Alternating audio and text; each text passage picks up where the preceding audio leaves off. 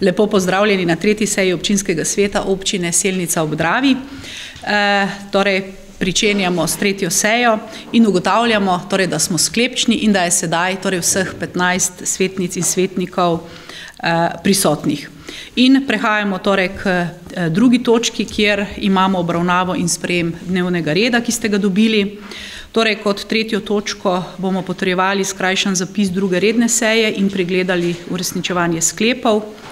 V, pri točki štiri bomo se ugotovitveni sklep obravnavali o nezdružljivosti funkcij. Pod točko pet bom podala nekaj informacij o dogodkih in delu eh, občinske uprave in mene v preteklem mesecu. Na to bomo obravnavali odlog o proračunu občine Silnica ob Dravi za leto 2019 v prvi obravnavi. Prav tako bomo v naslednji točki obravnavali odlog o določitvi nadomestila stroškov lokacijske preveritve v občini Silnica ob Dravi tudi v prvi obravnavi. Eh, na to bomo odločali o spremembi sklepa o sklenitvi sporazuma o pobratenju občine Silnica ob Dravi in občine Kostrena v Republiki Hrvaški. Na to se bomo seznanili s poročilom o stanju koče Breza eh, pri Svetem duhu na Ostrem vrhu in na to na koncu sledita, sledita še dve točki, to je pobude svetnikov in pa vprašanja svetnikov in bi prosla, če ima kdo na predlagan dnevni red kakšno pripombo ali do, dopolnitev. Vkolikor se z dnevnim redom strinjate, bi prosila, da glasujete. Prosila bi samo gospa Petra, še ni za glasovanje, malo še počakati. Ja. Torej, ta trenutek je eh, torej 14 svetnic oziroma svetnikov skupaj glasovalo za predlagan dnevni red. In torej prehajamo k drugi točki, kjer eh, govorimo o potrditvi in pregledu skrajšanega zapisa druge redne seje in bi prosila, če ima kdo kakšno pripombo na zapisnik.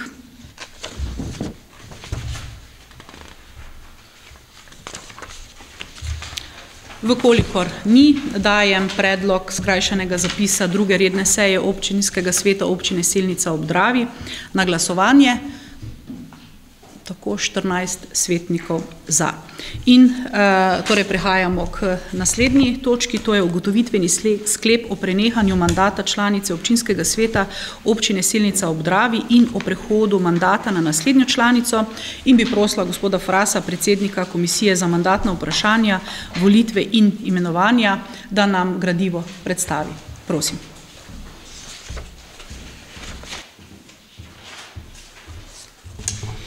Vsem skupaj lepo zdrav. Predno bi kaj sklepali, bi jaz eh, predstavil eh, to korespondenco med eh, občinsko upravo in pa seveda med ministrstvo, med ministrstvom za javno upravo. Najprej eh, bom predstavil zakon lokalne samoprave v drugem odstavku 37. člena določa, da funkcija člana občinskega sveta ni združljiva z funkcijo župana, članstvom v nadzornem odboru in z delom občinske uprave ter z drugimi funkcijami, za katere tako določa zakon. Funkcija člana občinskega sveta tudi ni združljiva z funkcijo načelnika upravne note, kot tudi z, z delom državne uprave na delovnih mestih, na katerih delovci izvršujejo pooblastila v zvezi z nadzorstvom nad zakonitostjo oziroma nad primernostjo in strokovnostjo dela organov občine.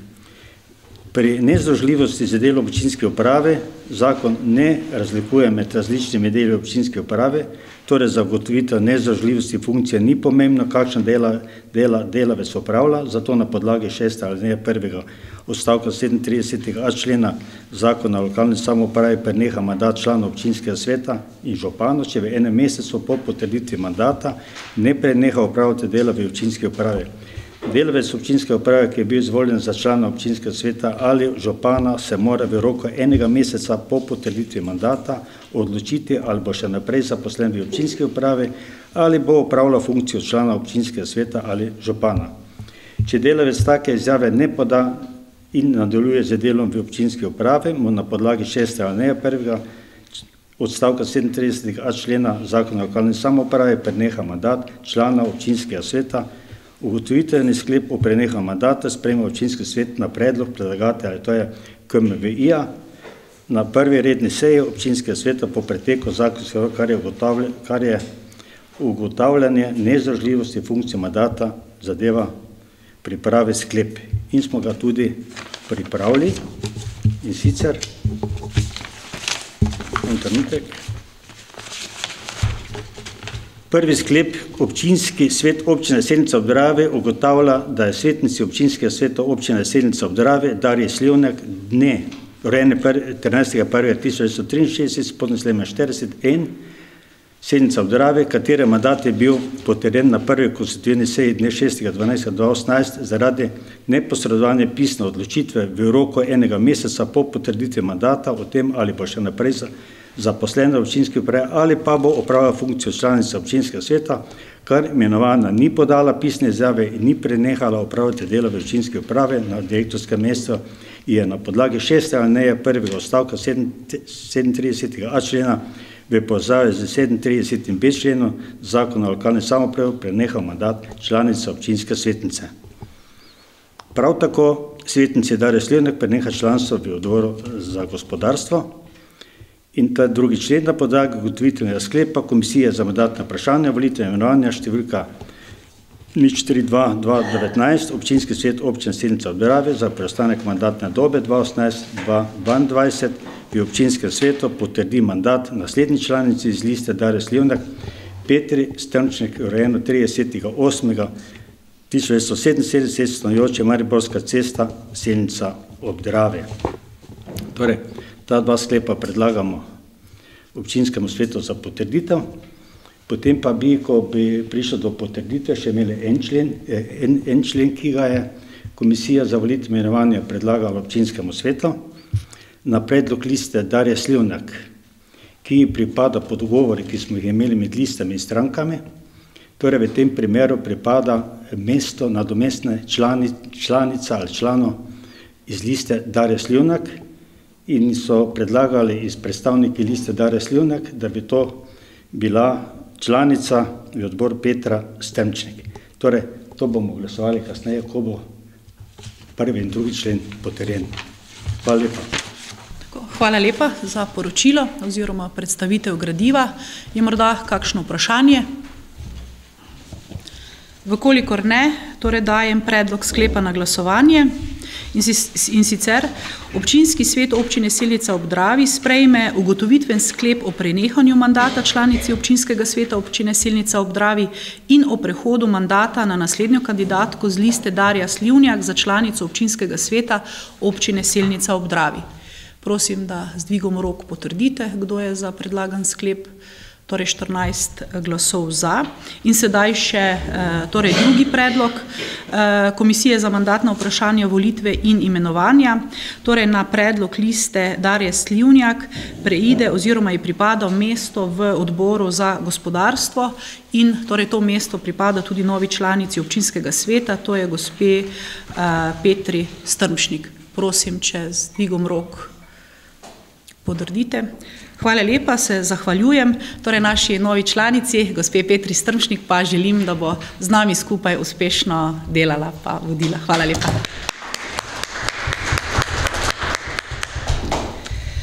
Tako, eh, prehajamo na naslednjo točko, to so informacije, eh, torej, ki bi jih rada podala in so vezane na Eh, torej naše delo občinske uprave in mene v preteklem času, torej v mesecu januarju in v začetku eh, februarja.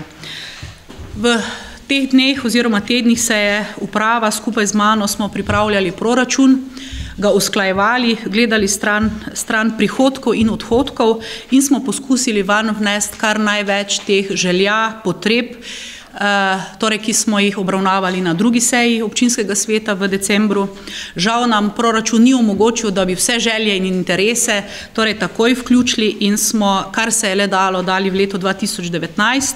Nekatere naloge pa, kot boste videli iz načrta razvojnih programov, bomo delali tudi v letu 2020 in v naslednjih letih. Prav tako sem bila eh, na direkciji za infrastrukturo in se pogovarjala o izgradnji pločnikov.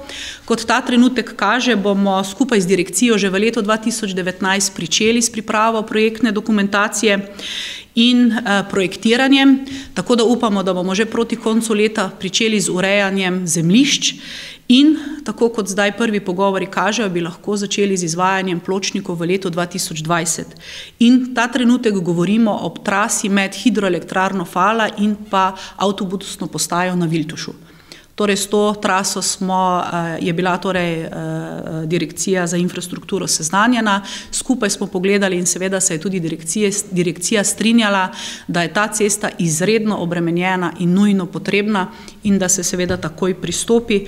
Občina je tudi, torej sem obljubila, da bomo na občinski upravi in v občini storili vse to, kar mi lahko, da opravimo torej svojo domačo nalogo in seveda, da se pristopi k izvedbi pločnikov kar se da hitro. Kot veste, prihaja pomlad in pripravljamo tudi program vzdrževanja lokalnih cest in površin.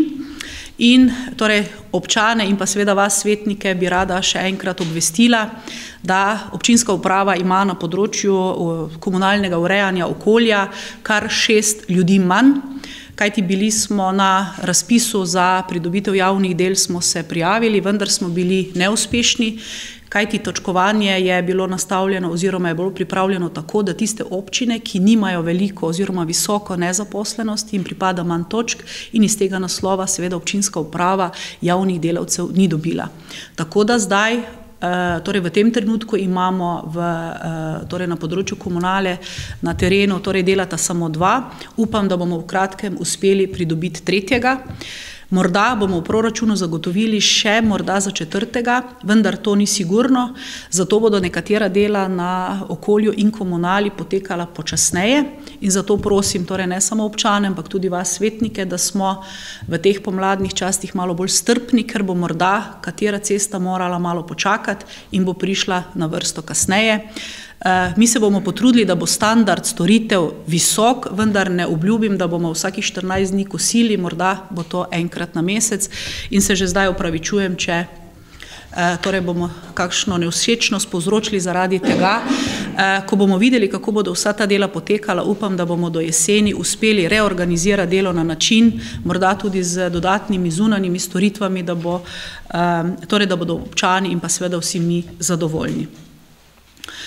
Prav tako aktivno delamo na dokumentaciji za izgradnjo vrtca, kot veste, smo takrat, ko smo o vrtcu razpravljali v decembru, ugotavljali, da je to ena izmed najbolj potrebnih investicij in torej upam, da vam bom lahko na naslednjem, naslednji seji občinskega sveta ob branju, drugem branju proračuna torej že podala natančnejše informacije glede datuma, torej delamo pa vse na tem, da bi lahko otroci v šolskem letu dva tisoč dvajset-enaindvajset že šli v nov въртец. Prav tako pripravljamo pravilnik o sofinanciranju zlatih porok v naši občini, kajti menim, da je prav, da občina nekako te ljudi, ki so torej v zakonu skupaj torej petdeset let, da jim nekako tudi počastimo, in ker vemo, da je taksa, ki jo morajo tisti, ki se prijavijo za, da bodo praznovali uradno potrditev, torej preko upravne enote svojih petdeset let skupnega življenja, plačati visok strošek, po zadnji informaciji je to sto sedemdeset evrov, in menim, da je prav, da torej da občina jim nekako izkaže. In ker teh porok ni veliko, mi si jih sicer želimo več, torej menimo, da torej naš proračun nekako zmore ta strošek in da bomo to torej pričeli izvajati, torej kdaj bo ta pravilnik začel veljati, boste obveščeni, torej vsekakor pa zelo hitro po sprejemu proračuna. V pripravi so tudi programi športa in kulture ter pravilniki o sofinanciranju društev na področju športa in kulture, ki so potem podlaga za pripravo razpisov in predvidevam, predvidevam, predvidoma jih bomo obravnavali v mesecu marcu, da bomo potem tudi razpise za društva objavili čim prej. Zelo vesela sem, da lahko povem, da zelo aktivno sodelujemo z županjo Ruš in pa seveda županom Lovrenca na Pohorju, da se pogovarjamo o skupnih možnih projektih in da gremo tudi korak dlje, da iščemo vse tiste skupne aktivnosti, ki bi tudi znižali stroške občinske uprave in jih nekako racionalizirali. Kot veste, praznujemo občinski praznik v mesecu maju, po prvih informacijah torej bi nekako razmišljali, da bi ta dogodek, dogodek praznovanja našega občinskega praznika trajal štiri dni, od četrtka triindvajsetega pa potem do nedelje šestindvajsetega maja. in tako da pričenjamo tudi s pripravo vsebine in več o vsebini bomo morda potem povedali na seji v marcu. Eh, kot veste, v skladu s statutom naše občine imamo ustanovljene tudi vaške odbore in prihodnji teden se bodo tako izvedli srečanja občanov in pa ustanovitev vaških odborov na Duhu na Ostrem vrhu, Gradišču na Kozjaku in pa na Slemenu. Eh, naš namen je torej, da začnejo oziroma da delajo ti odbori čim bolj aktivno, da vključujejo čim več ljudi iz krajev in da bomo tako lahko, torej mi svetniki in pa seveda tudi občinska uprava pridobili čim več eh, informacij in vključevali njihove želje in potrebe tudi redno v naše programe dela in v proračun, kajti le tako bomo zagotovili, da bomo imeli eh, torej enakomeren eh, razvoj. Včeraj so se pričeli tudi forumi. Forume sem torej sama oziroma bom še tiste, ki sledijo, imenovala. To so interesne skupine ljudi na določenem področju in torej predlagam oziroma sem predlagala, da bi ustanovili najprej forum za šport, forum za kulturo in pa forum za turizem, torej kjer torej bi razpravljali o nekako programu kratkoročnem in dolgoročnem razvoju športa, turizma in pa kulture v naši občini zato in da bi van vključili čim več ljudi, ne samo društva in pa tiste, ki so aktivno povezani z določenim področjem, ampak tudi vse tiste ljudi, ki jih zanima in bi želeli sodelovati.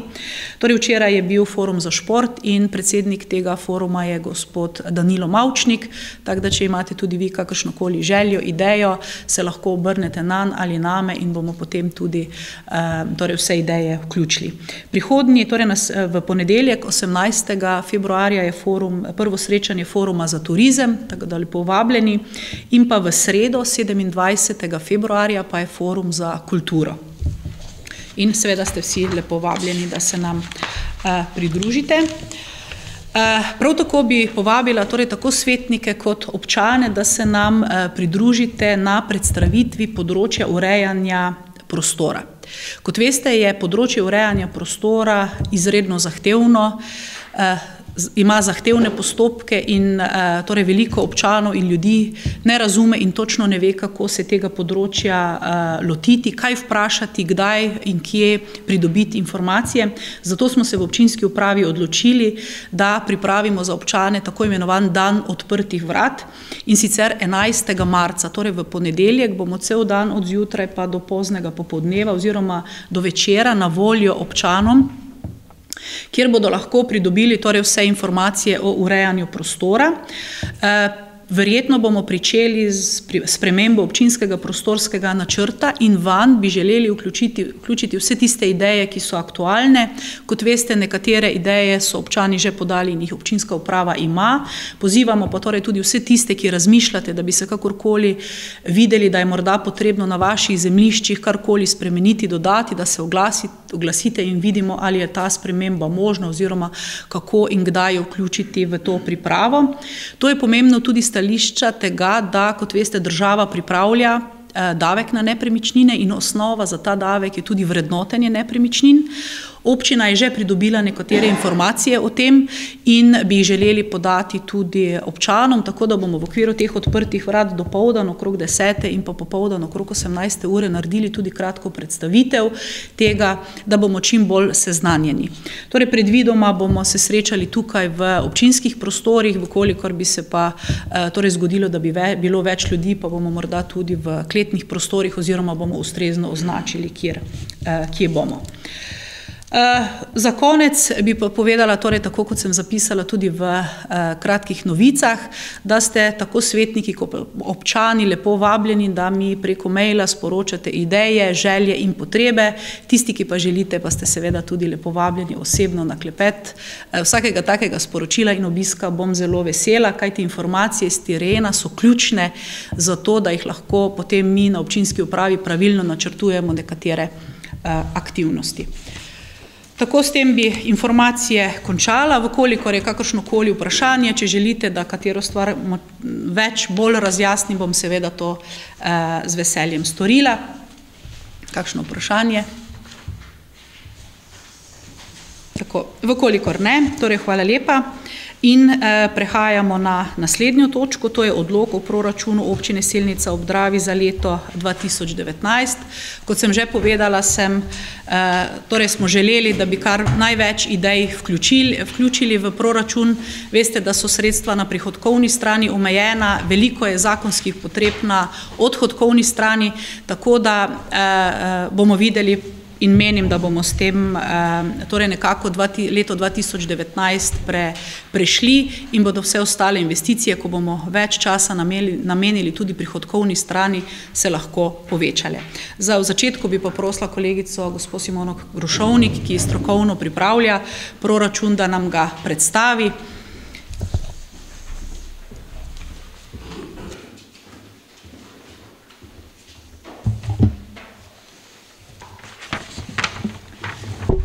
Lepo pozdravljeni pri obravnavi prvega branja predloga proračuna občine Senica ob Dravi za leto 2019, ki je v bistvu osnovni dokument za izvrševanje nalog lokalne skupnosti skozi celotno proračunsko leto.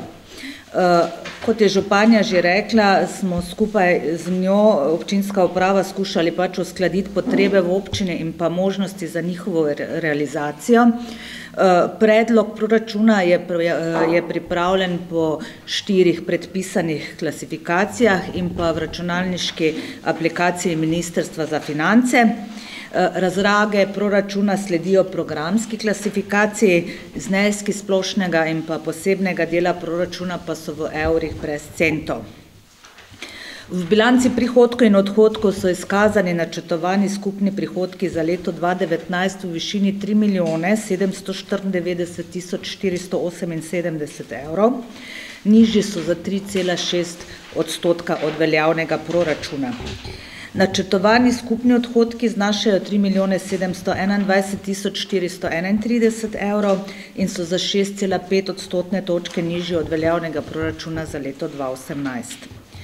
Eh, na kratko bom predstavila nekaj dejstev, ki se mi zdijo pomembna v predlogu našega uh, proračuna za leto 2019 in sicer najprej dohodnina, ki je namenjena občinam za pokrijanje zakonsko predpisanih nalog, je za občino Selnica ob Dravi v letu 2019 višja za 4,1 odstotek primerjavi s preteklim letom, kar nam prinaša 104 516 dodatnih uh, evrov. Transferni prihodki znašajo 137 226 evrov, to so prihodki iz drugih virov, uh, ki se pridobivajo na podlagi izvajanja državnih programov in pa projektov. Uh, največji uh, delež zauzemajo sredstva za investicije v skladu z zakonom o financiranju občin. Eh, nadomestilo za uporabo stavbnega zemljišča skupno za fizične in pravne osebe načrtujemo v višini 170 tisoč evrov, eden večjih prihodkov pa je tudi koncesija za rabo reke Drave v višini 333 tisoč evrov in pa najemnina komunalne infrastrukture v višini 249 tisoč 200 evrov. Pri skupnih službah, županji, podžupanu, občinskem svetu in odborih in pa nadzornem odboru v ostaljenih postavkah v potrebnem obsegu zagotavljamo funkcioniranje vseh naštetih proračunskih eh, uporabnikov. Področje komunale je v predlogu proračuna za leto 2019 planirano v višini 1 301 020 evrov, je za 4,7 odstotka nižje v primerjavi z veljavnim proračunom in predstavlja 35 odstotkov vseh odhodkov. Investicijskih odhodkov in transferov je v višini 457 900 evrov, kar znaša 35,20 odstotkov vseh odhodkov na področju komunale. Eh, največji delež zauzemajo investicije na glavnem programu cestni promet in infrastruktura, znašajo 220 tisoč evrov, kjer bomo uredili del Habidovega jarka in pa cesto na Vinski vrh. Investirali bomo še na področju kanalizacije, javne razsvetljave, vodovoda, pokopališča in pa gasilstva. Tekoče odhodke in transfere sestavljajo predvsem redna vzdrževanja komunalne infrastrukture, eh, ki so prav tako največja na programu cestni promet in infrastruktura in znašajo 415 tisoč evrov, v kar so vključeni tudi stroški zimske službe. Za prostorske akte v letu 2019 namenjamo 16 tisoč evrov, za zagotavljanje varstva pred naravnimi in drugimi nesrečami namenjamo skupaj 154 tisoč dvesto evrov za gasilce, civilno zaščito in pa gorsko reševalno službo. Na vseh področjih komunale zagotavljamo vsa redna vzdrževanja v primernem obsegu. Družbene dejavnosti so v predlogu proračuna za leto dva devetnajst planirane v višini en milijon šeststo šestintrideset tisoč šeststo sedem evrov in so za osem cela sedem odstotka nižje v primerjavi z veljavnim proračunom, pa predstavljajo štiriinštirideset odstotkov vseh odhodkov proračuna, kar jih dela največjega proračunskega porabnika.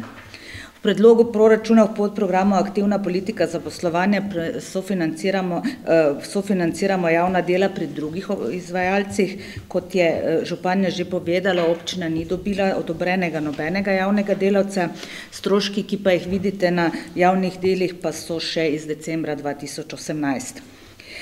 Izveden bo tudi razpis za pomoč pri samozaposlovanju. Ohranjamo sofinanciranje medkrajevnega javnega prevoza potnikov, ki nas na letnem nivoju stane dvanajst tisoč evrov. V skladu z zakonodajo plačujemo zdravstveno varstvo brezposelnih oseb in pa mrliško ogledno službo. nadaljuje se investicija obnove kletne etaže Zdravstvenega doma doktorja Adolfa Drolca, naš delež sofinanciranja je pet tisoč štiristo šestinštirideset evrov. Na tem področju sta pa odprti tudi dve novi postavki, in sicer zdravstveni telefon in pa sofinanciranje socialne delavke v zdravstvenem domu.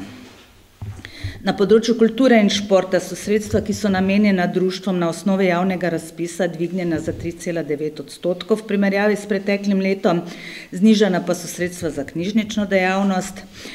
Sredstva za javni zavod Hram kulture Arnold Tovornik so zmanjšana za osem cela dvajset odstotkov, letos tudi v hramu ne bomo investirali. Dokončno bomo uredili igrišče v Gradišču na Kozjaku. Področje izobraževanja je zmanjšano za dva cela štiri odstotke, znaša devetsto dvanajst tisoč sedemsto evrov. Na predšolski vzgoji so se nekoliko povišali stroški plač in pripadajočih prispevkov, kupili pa bomo tudi nov sušilni stroj in financirali dokumentacijo za gradnjo novega vrtca. Na področju osnovnega šolstva smo znižali vse postavke in bomo skušali udejanjiti racionalizacijo na vseh področjih, kjer je to mogoče. Tudi investicij v šolo tudi letos ne bo. Pomoč v osnovnem šolstvu so zagotovljene na potrebni ravni, prav tako tudi štipendije. Postavke na področju socialnega varstva so planirane glede na gibanje v preteklih letih, vendar je večina od njih nepredvidljivih in odvisnih od sprememb med letom, je pa socialno varstvo v primerjavi s preteklim letom na enakem nivoju. Še vedno zagotavljamo vsa potrebna financiranja. Investicijskih odhodkov in transferov na področju družbenih dejavnosti je v višini dvainosemdeset tisoč štiristo šestinštirideset evrov, kar znaša pet odstotkov. Kot vedno zaradi značaja družbenih dejavnosti prevladujejo tekoči transferji. Na področju kmetijstva in turizma so v predlogu proračuna za leto dva tisoč devetnajst planirana sredstva v višini štiriinštirideset tisoč štiristo evrov, so za osem cela sedem odstotka višja kot v veljavnem proračunu za leto dva tisoč osemnajst. Na področju turizma so sredstva, ki se razdeljujejo na po razpisu na lanskem nivoju, namenjenih pa je še deset tisoč evrov za projekt pohodnih in kolesarskih poti. Na kmetijstvu so v skladu s pravilnikom namenjena sredstva za tri ukrepe v skupni višini šestnajst tisoč evrov. V bilanci prihodkov in odhodkov izkazujemo proračunski presežek v višini triinsedemdeset tisoč nula sedeminštirideset evra. V računu financiranja planiramo odplačilo glavnice kreditov v višini dvesto štirideset tisoč evrov in pa koriščenje povratnih sredstev Ministrstva za gospodarski razvoj in tehnologijo v višini devetindevetdeset tisoč sedemsto šestinosemdeset evrov. Iz vseh treh bilanc sledi negativna sprememba sredstev na računih v višini sedeminšestdeset tisoč sto sedeminšestdeset evrov, ki se bo pokrila s prenosom iz preteklih obdobij. Sestavni del proračuna so tudi načrti razvojnih programov, kadrovski načrt, načrt zadolževanja in pa letni načrt ravnanja s stvarnim premoženjem.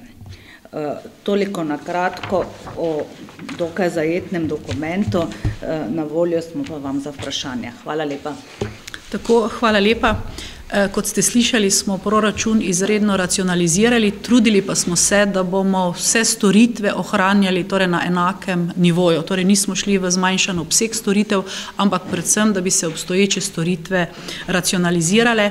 Morda smo bili, morda na kateri postavki malo preveč smo znižali preveč, vendar menim, da bomo glede na to, da še nimamo vseh podatkov o prihodkih in pa odhodkih, do drugega branja proračuna nekatere stvari spremenili, v kolikor pa ne, bo pa predvidoma junija rebalans in takrat bomo pa popolnoma na realnem stanju, kaj se nam bo v letu dva tisoč devetnajst dogajalo. Preden odprem razpravo, bi morda še povedala kratko o protokolu sprejemanja proračuna. Torej danes imamo prvo obravnavo, v katerem lahko vsi svetniki torej razpravljate, podajate ideje, pobude, spreminjate. Potem v nadaljevanju občinska uprava te vaše želje, pobude in pa ideje poskusi vključiti v proračun. Proračun je potem tudi nekaj časa v javni obravnavi, da ga lahko vsi občani vidijo, da lahko tudi vsi občani dodajo svoje ideje in pripombe, nato jih občinska uprava uskladi in seveda prinesemo k vam predvidoma sedmega marca, torej tudi v drugo branje. Drugo branje pa potem več ne vključuje idej oziroma določene ideje se lahko vključijo, vključijo, vendar mora vsak svetnik takrat povedati, da da želi dodatno idejo in mora dodati seveda finančna sredstva, ki jih pa mora na drugi postavki takrat vzeti in se takrat rešujejo z amandmaji. Torej takrat je malo manj fleksibilno, zato predlagam torej, da v kolikor seveda imate danes ideje ali pa če se v naslednjih štirinajstih dneh, ko boste morda še bolj razmišljali o proračunu in nekaterih aktivnostih ali pa se pogovarjali z občani, da nas kadarkoli imate idejo, torej tudi napišete, pokličete in bomo jo seveda v upravi preučili pa jo poskusili vključiti, v kolikor pa ne, pa bomo potem tudi obrazložili, zakaj torej nekatere postavke niso bile možne oziroma ideje ali želje realizirati. Tako, zdaj pa odpiram razpravo, pa bi najprej prosila statutarno-pravno komisijo, da poda svoje mnenje k predlogu odloka o proračunu. Spoštovana županja, spoštovani člani občinskega sveta in vsi ostali prisotni. Statutarno-pravna komisija se je seznanila, se je seznanila z, je obravnavala predlog odloka o proračunu Občine Selnica ob Dravi za leto dva tisoč devetnajst na prvi redni seji dne enajstega februarja dva tisoč devetnajst. Po obravnavi je komisija na podlagi izida glasovanja štirimi glasovi za in nič proti ugotovila, da je sklep sprejet in glasi: Statutarno-pravna komisija predlaga občinskemu svetu Občine Selnica ob Dravi, da predlog odloka o proračunu Občine Selnica ob Dravi za leto dva tisoč devetnajst skladno z oseminosemdesetim členom Poslovnika Občinskega sveta sprejme na prvi obravnavi ter da predlog proračuna v javno obravnavo. Hvala lepa. Prosim še za stališče Odbora za gospodarstvo.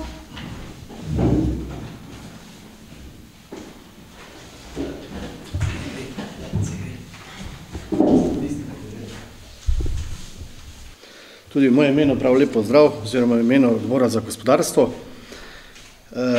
Na svoji prvi redni seji Odbora za gospodarstvo smo tudi, bom rekel, strokovno in tudi konstruktivno odločali o proračunu v prvem branju in in potrdili soglasno od sedmih prisotnih naslednji sklep: Odbor za gospodarstvo je seznanil z odlokom o proračunu Občine Selnica ob Dravi za leto dva devetnajst, prva obravnava, in ga predlaga občinskemu svetu Občine Selnica ob Dravi v sprejem v prvi obravnavi. Najlepša hvala. Prosim še za stališče Odbora za negospodarstvo.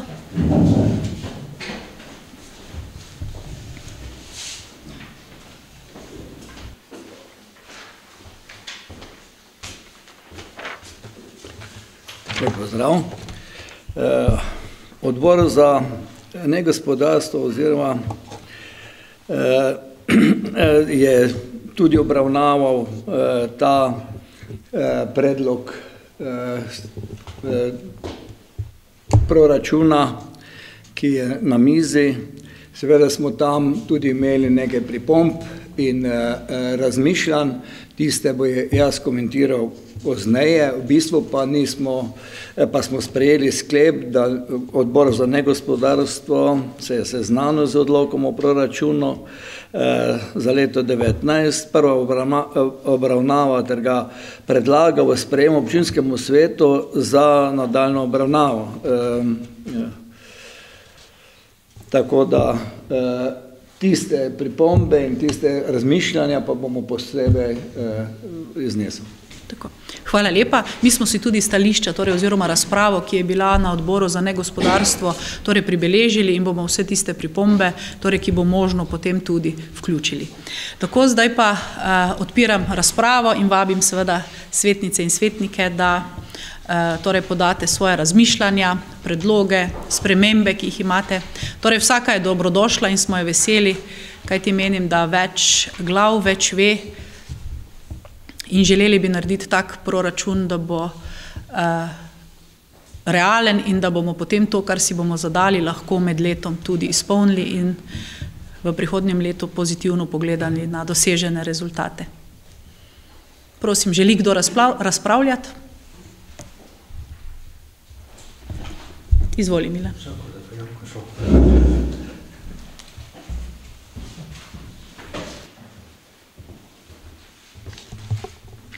Še enkrat lepo pozdravljeni. Po pregledu proračuna vidim, da ni veliko manevrskega prostora oziroma variabilnega dela, zato da bi lahko pač imeli veliko denarja na razpolago. Najprej pa moram povedati, da sem posebej pregledal silniške proračune zadnjih deset let, tako da vidimo, kaj je pravzaprav pripeljalo do posledice teh zadnjih proračunov in tudi sedanjega. Veste, zakaj sem ugotovil, da so od tri cela pet milijona do tri cela osem milijona evrov, nominalno so si podobni, realno pa so izpred desetimi leti. Zlasti zadnji proračuni so realno dosti nižji. Vzrok je, občinam se nalaga večje zakonske obveznosti, brez da nam je, brez da nam namenijo denar, dodaten denar. Država ne sledi nerealni povprečnini, občine nimajo vpliva na višino povprečnine oziroma izravnave. Od leta dva štirinajst so ukinili denar regionalnega razvoja, to se pravi Žagarjeva sredstva iz leta dva tisoč sedemnajst. Drastično se zmanjšujejo obveznosti za obrežje reke Drave in tako dalje in še veliko drugih stvari. Kaj smo si pa sami povzročili najbolj, se zadolžili za megalomanske projekte, ki bodo čutili posledice še dva mandata, to je zagotovo. Zadolženi smo do liminita, do do limita, ni se smotrno načrtovalo, vse bolj se je delalo na horuk in nič ni pomagalo opozarjanje, včasih smo grozili z nesprejemom proračuna, če se spomnimo. Smo po podatkih iz leta dva sedemnajst v okrožju druga najbolj zadolžena občina za Maribor na število prebivalcev, leta dva šestnajst pa smo bili prvi po številu prebivalcev. Zadolžene občine za leto dva sedemnajst lahko pogledate, je možno pogledati na spletni strani zadolženost občin v bližnjem okrožju. Pa bom kar na brzino, Maribor imaš petsto štiriinosemdeset evrov na prebivalca, Selnica petsto šestindvajset in tako dalje, Šentilj štiristo dvaintrideset, Ruše tristo osemdeset, Duplek tristo dvainsedemdeset, Kungota tristo sedemintrideset, Miklavž dvesto devetinosemdeset, Hoče dvesto sedeminpetdeset, Lovrec dvesto petdeset, Pesnica dvesto štirideset, Podvelka nič, Starše nič, Rače nič. Vse te posledice so vidne v letošnjem proračunu, saj nam ob veliki racionalizaciji ostalo zgolj trinajst procentov proračuna za vzdrževanje investicije. Prepričan sem, da bomo znali slediti razpisom, si na moder način pridobili, pridobiti dodatna sredstva za projekte, ki so predstavljene v proračunu. Kot so prioritetno dolgoročno predstavljene investicije, in sicer vrtec, gasilski dom do leta dvaindvajset, športna dvorana, šola v Gradišču, pločniki, kolesarske poti in podobno. Bi pa opozoril na cestno infrastrukturo.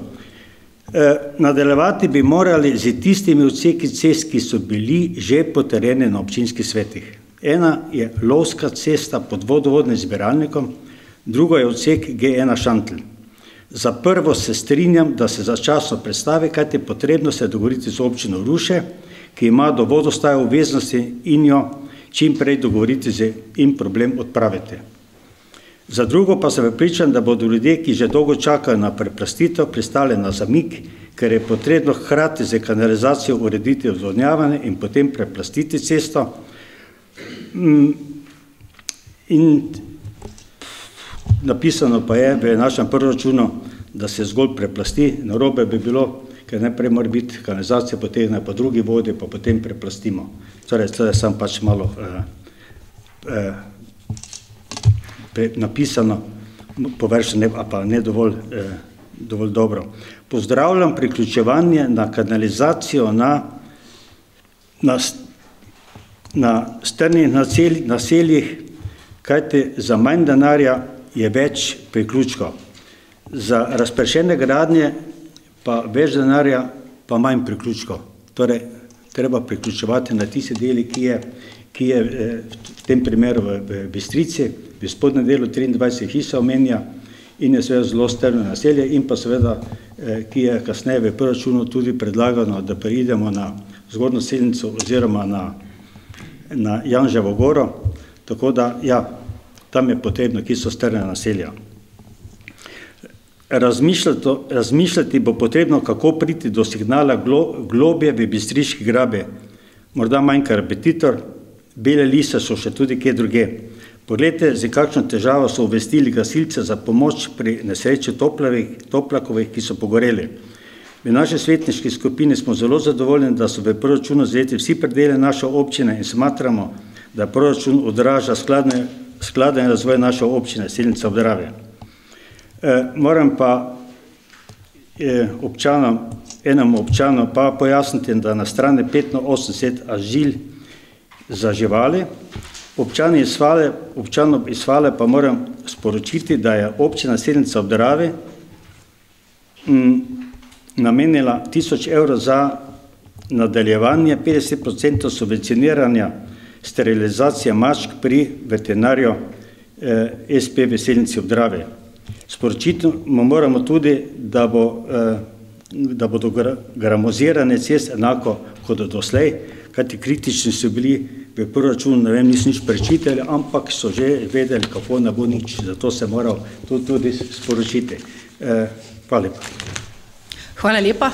Torej, to, da ne bo gramoziranja, torej to ne drži, ampak bomo pa res racionalizirali in poskusili urejati ceste tako, da bodo držale torej bolj dolgo in tam, kjer bo nujno potrebno, bomo seveda to še vedno naredili, da bodo ljudje lahko varno vozili in prišli do svojih delovnih mest ali pa nižje, tako da eh, torej tega eh, zagotovo, da ne bomo več gramozirali, to ne drži. Še morda kakšna razprava? Prosim, izvoli, Darko.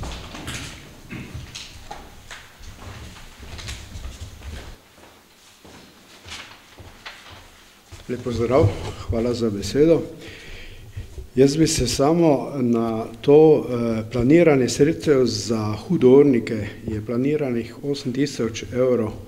Eh, to je vredo, da se naredi študija, ampak potem bi bilo treba tudi planirati sredstva za odpravo eh, hu, mislim, eh, problemov za hudornikov. To bi imel.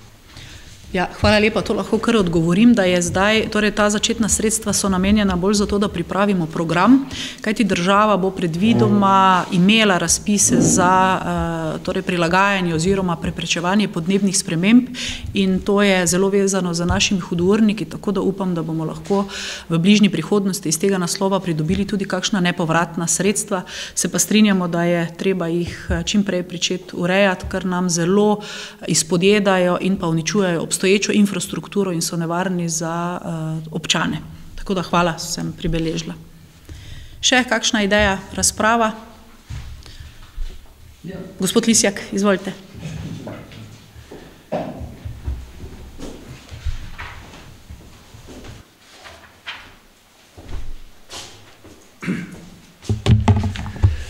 Še enkrat sem pa pripričan, da mi ne boste ravno ploskali, ker bom začel pri nekaterih eh, postavkah, ki, na katerih se seveda je indeks visok.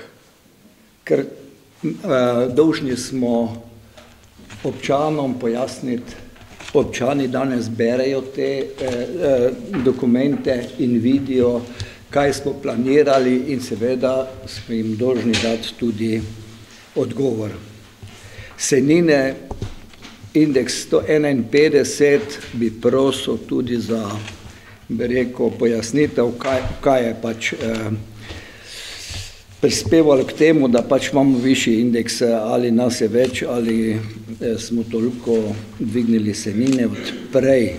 Ne. Lahko spravite. Ne, ne, ne, samo jaz si bom označevala na strani, da mi povejte, Jo, jo nisem si, ja, ne vem, nisem si vse zapisal.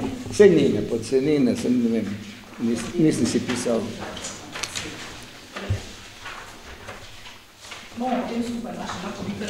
Ja, gledajte, tudi prostorsko planiranje ne, je indeks 145, kar pa smo že zdaj eh, iz eh, izvajanja županje slišali, da bomo pač pripravljali prostorske načrte, ki so pa do zdaj bili, pravzaprav eh, niso se de, delali in zato eh, se tudi pojavljajo določeni problemi, eh, katerem bom pa prišel potem. Urejanje pokopališča eh, 153 eh, se iz, iz tudi povedanega ni slišalo oziroma ni zapisano, kaj je eh, prispevalo k temu, eh, temu eh, povišanju.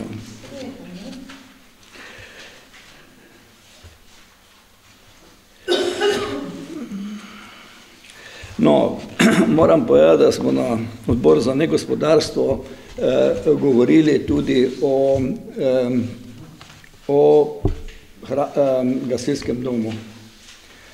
Povedati moram, da ne bi me narobe razumeli, da Bog ne daj, da bi bil proti gasilcem ali kakorkoli eh, hotel jih prizadeti, kaj se tega tiče, tudi lahko vidite iz vaših popisov. Eh, pobirana sredstev, da to ne, ampak imamo pa ta pomislek glede arhitekture. Dom je predve, eh, gasilski dom je predviden, da se eh, gradi proti, proti jugu, eh, s, tem, s tem zakriva fasado, eh, fasado eh, tega našega lep, lepega hrama kulture. In seveda, eh, gospa županja mi je že obljubila, da bo to proučila, tudi sam sem se pozanimal pri projektantu, gospodu Davidu Mišiču, eh, pač je takrat, eh, ko je projektiral ta, ta hram kulture, seveda je bila, bi rekel, tudi sama prostorska ureditev nekogo načrtovana, da tam se ne bo nič delalo oziroma ne bo se eh, dograjevalo eh, celo tako daleč, da je bil neki idejni plan, da se eh, gasilski dom prestavi na drugo lokacijo, ker je tam bil z tistim načrtom pač predviden eh, taki, eh, taki trg, ki ga je on tudi nekaj narisal, ampak eh, ker ni bilo seveda to sprejeto in seveda zdaj pač eh, prihaja do takih, eh, takih eh, pro, problemov. Ne. Gospod eh, Mišič je rekel, da to je nesprejemljivo, da se to zakriva. Je, eh, jaz sem se z njim pogovarjal, prosil sem ga tudi za, pismen, eh, za pismeno eh, mnenje, eh, ki ga pač nimam, eh, ker ga pač nisem dobil, pa eh, lahko se ga pa občina pridobi in v zvezi s tem tudi nekaj eh, nekaj povejo. Ne. Tudi, eh, tudi indeks eh, sredstev namenjene gasilsko, eh, gasilstvo je, je, je 166. Ne. Mi gremo zdaj v veliko investicijo, pravzaprav načrtujemo za le, vsa leta naprej, veliko investicijo, začne se v naj, eh, bi rekel, krisnih časih občine Selnica ob Dravi. In eh, seveda eh, realizacija tega eh, plana pomeni manj pločnikov, manj manj asfaltirane, manj eh, sredstev eh, na, za druge stvari. Gospa Županja je ta pred, predlog proračuna pripravila zelo, bi rekel, šparljivo.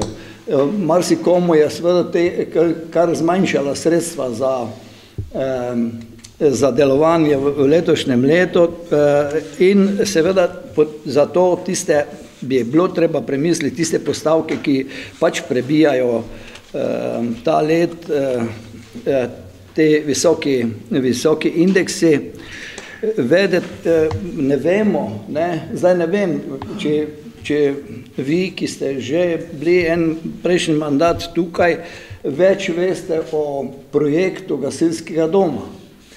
Glede na to, da bo gasilski dom v končni fazi stal pol milijona, smo dolžni ljudem povedati, kaj bo to. To je štiri do pet stanovanskih hiš, tako drag je ta projekt in eh, jaz bi rad vedel, eh, kaj toliko stane, kaj vse je predvideno, zaradi tega, ker to morajo ljudje vedeti in smo jim dolžni odgovoriti in to zelo natančno. Sredstva, ki so predvidene za gasilce, so sredstva od občanov. In zato smo jim tudi eh, eh, dolžni pojasniti, kaj se eh, kaj se bo gradilo ne, in tako naprej. Ni pa, seveda pa vemo, da gasilce nujno rabimo, da imajo prostorsko stisko, to tudi vemo ne, in da, e, da moramo to tudi upoštevati, da moramo nekaj vlagati tudi e, nadalje v, v, v gasilsko službo. Hvala. Hvala. Najlepša hvala. Preden bom eh, dala eh, torej še besedo za naprej, bi morda kar odgovorila, zato ker bo tako najlažje. Sejnine smo torej res povečali eh, torej za 50%, kajti v prejšnjem mandatu je bil pač načrt dela župana takšen, da je imel čim manjkrat seje, zato ker je pač imel občutek, da občinski svet pravzaprav ne rabi o vsem razpravljati. Moj odnos do občinskega sveta je popolnoma drugačen. Jaz menim, da moramo čim večkrat sedeti skupaj, čim večkrat razpravljati, da bomo vsi razumeli, eh, kaj delamo. In tako kot je zdaj gospod Lisjak povedal, je prav, da o vsem razpravljamo, da se morda še kak trenutek, ko je čas bolj dolgo temu eh, določenemu področju namenimo in bomo potem malo lažje speljali. In zato je, mislim, da je bilo v prejšnjih letih planiranih eh, pet, izvedenih pet sej ali šest, jaz mislim, da jih bomo v letošnjem letu verjetno imeli nekje okrog osem do devet, zato so pa sredstva povečana. Prav tako na prostorskem planiranju, kot veste, veste, da sprememba eh, občinskega prostorskega načrta, ki omogoča ljudem novogradnje, ki omogoča določene razvojne eh, možnosti, tudi povečane, eh, torej stane. In mi menimo, da ne bi čakali na pripravo tega prostorskega načrta predolgo in zato smo že v letošnjem letu malo dvignili finančna sredstva, trudili se bomo, da bomo ta prostorski načrt naredili kar se da racionalno, vendar za določene strokovne podlage, ki so nujno potrebne, če želimo pridobiti soglasje na ministrstvo, ministrstvo smo seveda planirali. Prav tako urejanje pokopališča. Kot veste, se v preteklih letih pokopališče ni dobro urejalo, streha toči, eh, eh, določene, torej infrastruktura je tam zelo slaba in bi jo bilo potreba urediti, prav tako nam manjka žarni zid in zato torej še vedno se dogovarjamo, kako z temi minimalnimi sredstvi narediti kar največ, eh, glede na to, da pač v prejšnjem letu sploh ni bilo investicij v pokopališče in zato so morda zdaj glede na preteklo leto 17 toliko višja.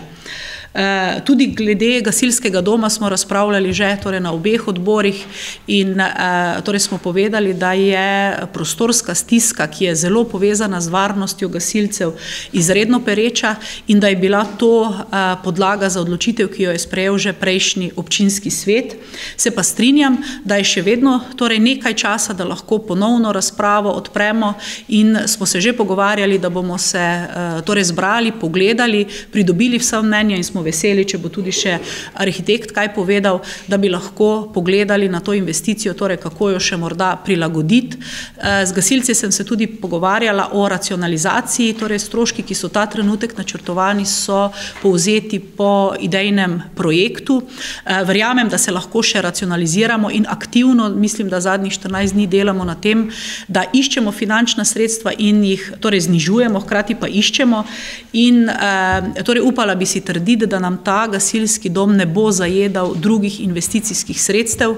Pogovarjamo se tudi o možnih razpisih, kajti gasilci pridobivajo na področju zaščite in reševanja v vseh strategijah, tako na nivoju Evropske unije kot Slovenije, izredno dodano vrednost, kajti v primeru torej, teh podnebnih sprememb, ko so naravne nesreče, ki nas bodo počasi tudi v Sloveniji dosegale, bomo potrebovali torej take zaščite in reševanje vedno več. Z novimi smernicami dobivajo eh, gasilci torej tudi dodatno zadolžitev ali pa odgovornost na področju bolnišničnega oziroma prve pomoči. Kot veste, da zdravstvena mreža se domovi, eh, bolnišnice izredno eh, krčijo in se nekako zdaj delajo, eh, da bi se lahko tudi obstoječa gasilska, torej zveze gasilci, gasilska društva okrepili in pomagali tudi tam, kjer bi bilo, torej, ker so najhitreje lahko na mestu. Torej se pa strinjam, da gre za izredno visoka sredstva, ki jih bomo racionalizirali analizirali in sem seveda zelo odprta, pa verjamem, da tudi gasilci, da lahko še enkrat pogledamo, kaj smo zrisali, kaj smo naredili. Eh, menim pa, ko boste torej določene podatke videli, ki so Eh, torej takšni, da so tudi mene presenetili, da ko avto izvozi, da lahko v tistem trenutku, ker rabi nekaj trenutkov za to, da se zagreje, eh, nam povozi gasilca ali pa mora gasilc vse te izpuhe, ki so v tistem trenutku tam, vzeti v sebe, da je poleg tega, da kasneje daje svoje življenje na pladen, torej že takrat, ko se ukrcava veliki nevarnosti. Torej, tako da, torej verjamem, da je to nekaj, kar nas bo vse skupaj prepričalo, da bomo o tem premislili. Eh, sem pa odprta, da bomo to razpravo še enkrat uh, se dogovorili, pogledali in videli, da najdemo najboljšo, najbolj racionalno uh, rešitev. Še odpiram razpravo. Uh, prosim, Igor.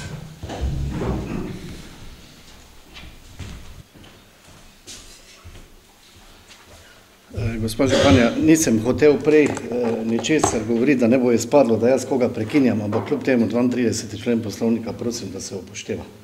E, tako da nisem pohotel prej ničesar reči, da ne bi izpadlo, da kaj prekinjam. Odlok o proračunu občine Srednica v Dravi, jaz pravim tako, glede na zmožne finančna sredstva in glede na težave, katere pač naša občina ima, s tem posledično tudi županja in občinska uprava, da lahko tak dokument sestavi in da obenem tudi vsem željam ostreže, pač kolikor se da, eh, ga pozdravljam in ga bom seveda tudi potem potrdil, glede na to, da še pač ne govorim zdaj o obrazložitvi glasu. Prišel sem ven zaradi tega to, kar na, na razpravo oziroma na, ja seveda na razpravo gospoda Lisjaka. Uh, gasilski dom, prvo bom rekel, zelo me žalosti, da, da primerjate uh, bom rekel, adaptacijo oziroma prizide gasilskega doma za izgradnjo stanovanj. Marsikateri, marsikateri projekt v naši občini se je napravil, ki bi ga tudi lahko se pogovarjali o tem, da bi se kako, kako stanovanje zgradilo, pa nikdar doben ničesar ni rekel. To je prvo. Drugo, kar se tiče umeščanja tega prizidka v pro, sam prostor, mi smo imeli arhitekte. Tri, dve leti pa pol smo delali papirje skupaj. Tri variante smo delali. Prva varianta je bila na zahodno stran proti hramu kulture. To pomeni 7 metrov neto površine oziroma skoraj 8 metrov pa pol uh, z napuščom in smo se tega rekli ne moramo zaradi tega, ker je ta objekt zraven, ne moramo to narediti, ker bomo zaprli pogled stanovalcem od zadje. Potem smo rekli, bomo šli na desno stran proti Merkatorju, če stojim pred gasilskim domom. Vse narisali, vse naredili, arhitekti vse izračunali, kaj se je zgodilo. Eh, radius izvoza tovornega vozila ne gre po naši zemlji, ampak gre po Merkatorjevi zemlji. Ne gre ni šans. Ostali smo, edino kaj še nam je ostalo pred gasilskim domom. Pred gasilskim domom smo, smo bo prizidek oziroma bo do garaže, ničesar druga, v višini do police zgornje okne. Če pa gledamo od gasilskega doma proti glavni cesti, pa pride do, do tam, ko je pol okrog zelenice na desni strani, če bo kdo hodil, lahko to pogleda. To pomeni 9 metrov naprej in višina. Višina sem šel posebej gledati. Višina tega prezidka bo prišlo na višine zgorne, zgorne šipe eh, hrama kulture, ko je tu od tega platoja notri. Tako da ničesar ne prikriva. Če kaj prikriva, pa oprostite mojemu eh, razmišljanju, če kaj prikriva vizualni izgled ali pa pogled na hram kulture, je sladoledar. Tak, da bote, da, jaz mislim, da sem dovolj jasno povedal.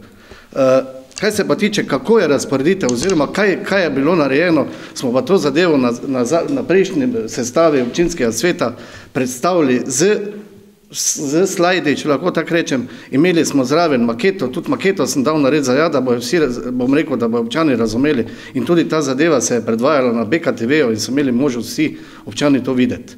Uh, Pripravljeni smo na vse, ničesar, vse papirje imamo v, v, bom rekel, v prostorih gasilskega doma, ničesar si ne namišljamo, namišljamo zato, da bomo imeli, ne vem, veliko dvorano, da bomo imeli, ne vem, kaj, plesišče, nimam pojma. Govori se za čisto operativo, to pomeni, ko pride adrenalin, ko mi pridemo v garažo, ko, ko, to, ko se to nori, jaz vam odkrito povem, ko jaz kot predsednik, mene je vedno strah, da se ne bo v, že v sami hiši noter nam kaj zgodilo, preko bomo sploh kam šli. Kjer tega ni doživel, pridite, lepo vas prosim, pridite v gasilski dom pa doživite to. To mi opozarjamo, to ne opozarjamo, jaz sem predsednik šesto leto, jaz ne opozarjam kot šest let, Ta, to zadeva se že opozarja kar nekaj let nazaj.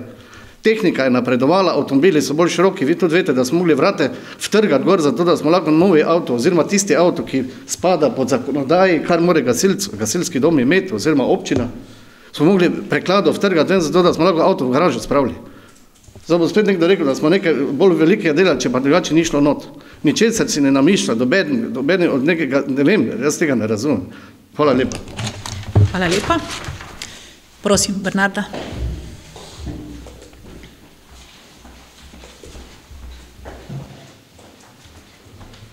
Spoštovane svetnice, svetniki občinska uprava, gospa Županja, hvala za besedo. Najprej bi pohvalila občinsko upravo pri pripravi tega zajetnega dokumenta, ki ga bom tudi potrdila.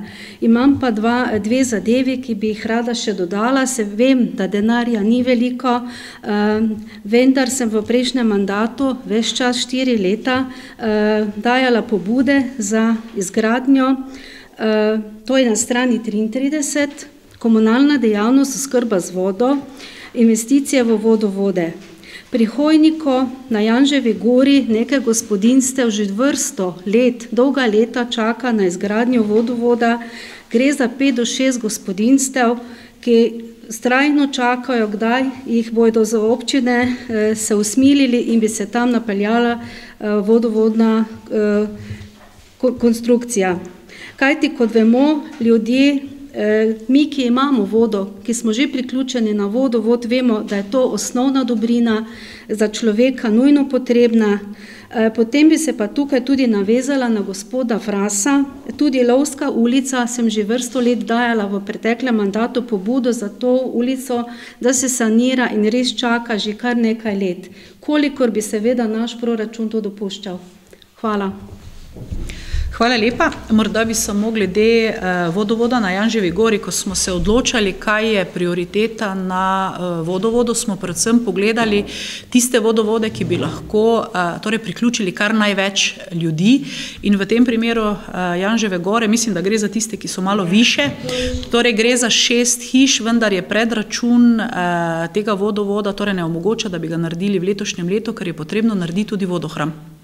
In govorimo o osemdesetih tisočih evrih in smo torej letos prioritetno dali torej območje, kjer bomo več torej ljudi lahko priključili.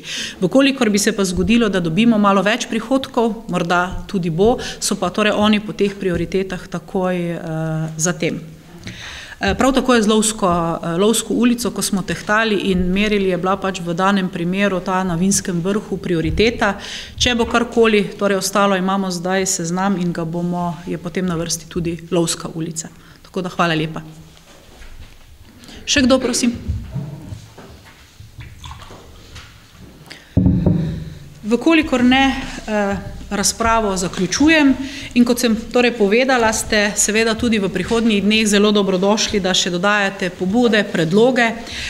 Kar se pa tiče torej o razprave o gasilskem domu, bomo pa takoj po občinskem svetu se ponovno usedli skupaj z gasilci in pa seveda vsi ostali svetniki, ki boste želeli. Pogledamo papirje še enkrat, strokovne podlage in jaz verjamem, da bomo do drugega branja torej imeli marsikatero vprašanje, ki je povezano z gasilskim domom tudi tudi razjasnjeno. Če mi dovolite, prav vljudno vabljeni vsi, pa tudi drugim zainteresiranim, pridite v naš gasilski dom, ničesar ne skrivamo, gasilski dom je od vseh nas, saj ni od mene, pa ni od, ne vem, to ne gasilski. velja, hvala, to bomo vzeli in res torej predlagam, bomo zorganizirali, da bomo te naredili. Tako, torej, eh, zaključujem šesto točko in eh, eh, dajem predlog sklepa. Eh, na glasovanje, torej občinski svet občine Selnica ob Dravi sprejme odlog o proračunu občine Selnica ob Dravi za leto 2019 v prvi obravnavi. Prosim, da z dvigom rok eh, predlagan. Zdaj pa lahko že, prosim, ja. Najlepša hvala, zdaj pa nas je spet 15. Super, 15 prisotnih, 15 za. Mi bomo pa tudi vse pripombe, ki so bile v razpravi, preučili, jih obrazložili in seveda po potrebi vključili. Hvala lepa, prehajamo na sedmo točko. To pa je odlog o določitvi nadomestila stroškov lokacijske preveritve v občini Selnica ob Dravi v prvi obravnavi in prosim eh, našo kolegico magistro Miro Vizovišek Motaln, da nam eh, predstavi gradivo, da bomo lažje odločali.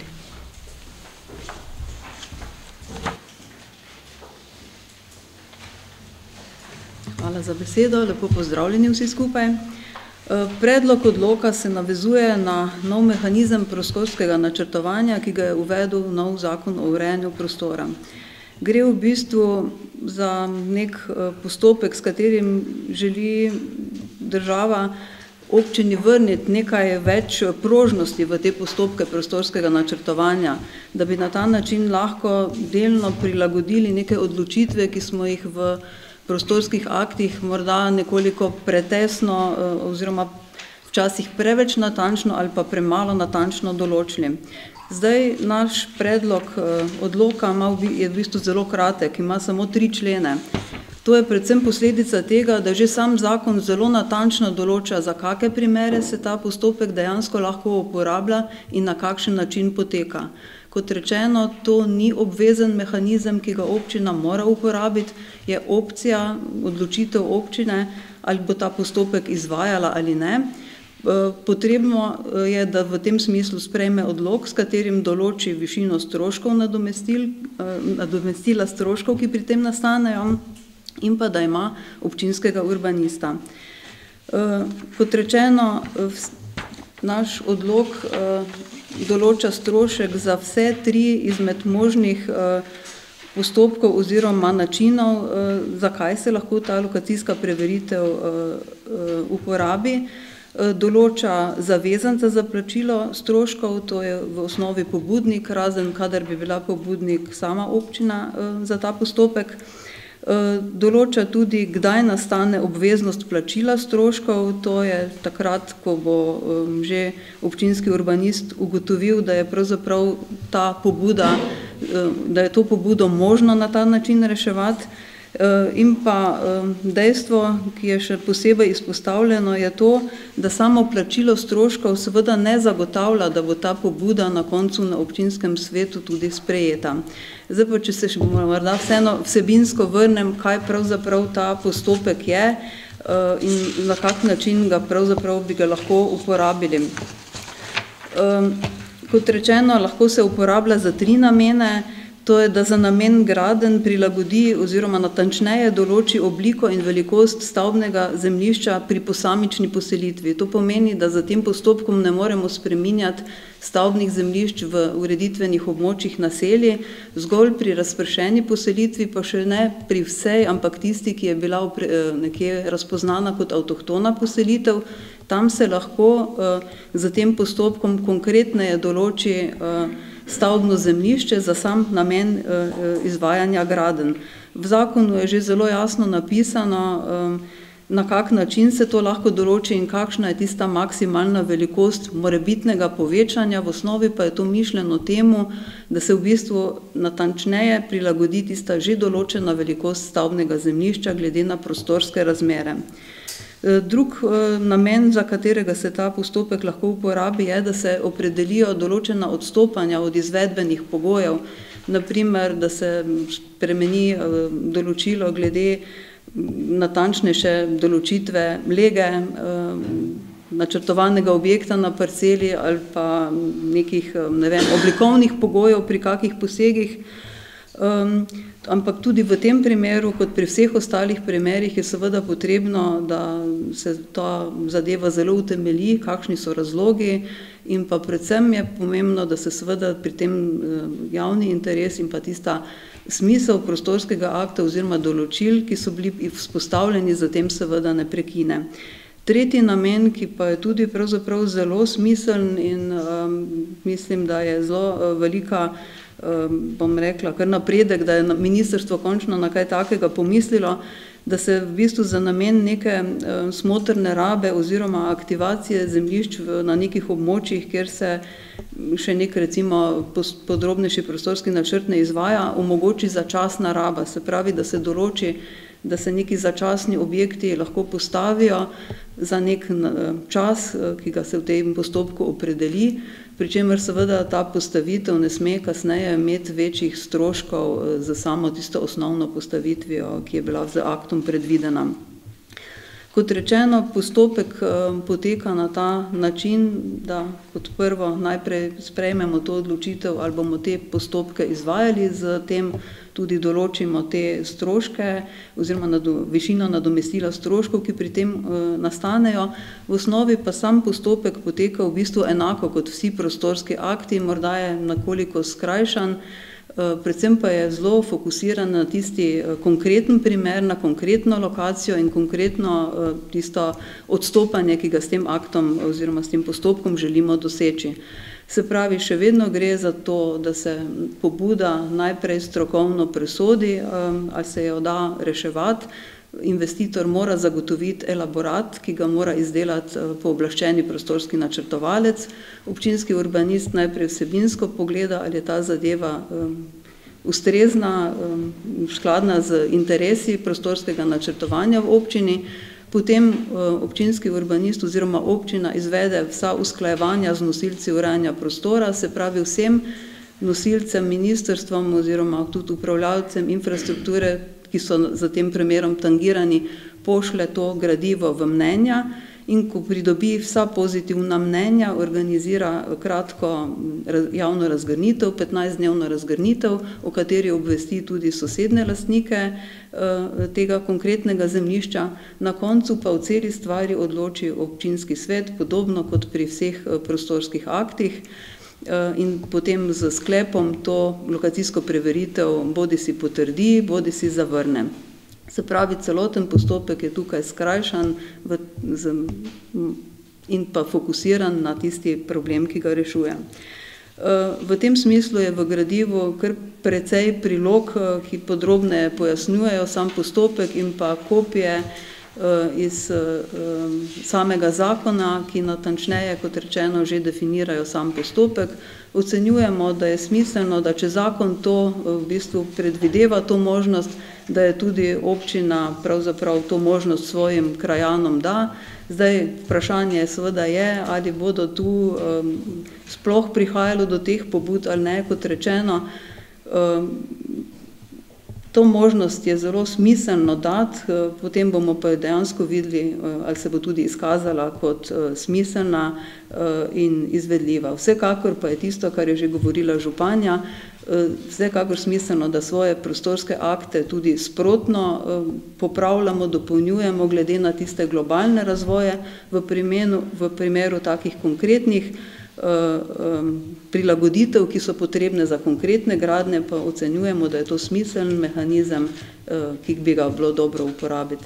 To je za enkrat vse, eh, vsekakor pa, če so kakšna vprašanja, sem tukaj. Tako, hvala lepa. Torej, ta odlog je nekako tisti prvi korak v smeri, da gremo nasproti občanom in pa potencijalnim investitorjem, graditeljem, da lahko vsaj nekatere zadeve na področju urejanja eh, torej prostorskih zadev uredijo malo hitreje. In seveda, ker s tem nastanejo določene izredne eh, naloge oziroma včasih tudi dodatni stroški, nam zakon omogoča oziroma daje možnost, da to določitev, torej tega nadomestila tudi računamo oziroma občani ali investitorji plačajo in zato je ta odlog kot pravna podlaga, da lahko naredimo. Veseli pa smo, da imamo tudi druge zakonodajne zahteve, kot je to urbanist v občini urejene, da se lahko te postopke lotevamo. Zdaj bi pa prosila za stališče statutarno pravno komisijo. Prosim, Marko.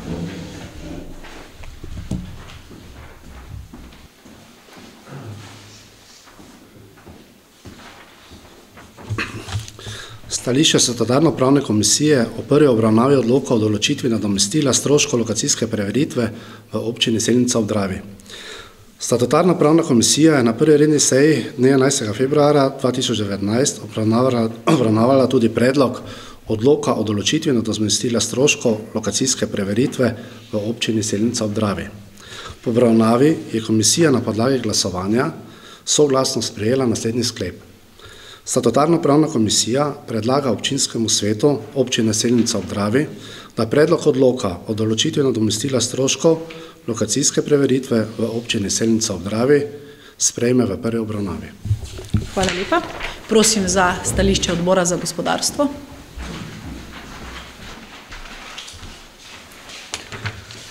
Prav tako je odbor na prvi redni seji obravnaval omenjeno vsebino in sprejel soglasno sledeči sklep. Odbor za gospodarstvo se je seznanil z odlokom o določitvi nadomestila stroškov lokacijske preveritve v občini Selnica ob Dravi, prva obravnava, in ga predlaga občinskemu svetu občine Selnica ob Dravi v sprejem v prvi obravnavi. Hvala lepa. Prosim še za stališče odbora za negospodarstvo.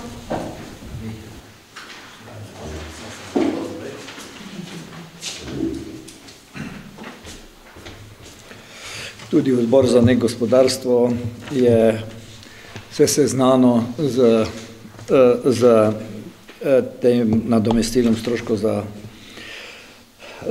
lokacijske preveritve.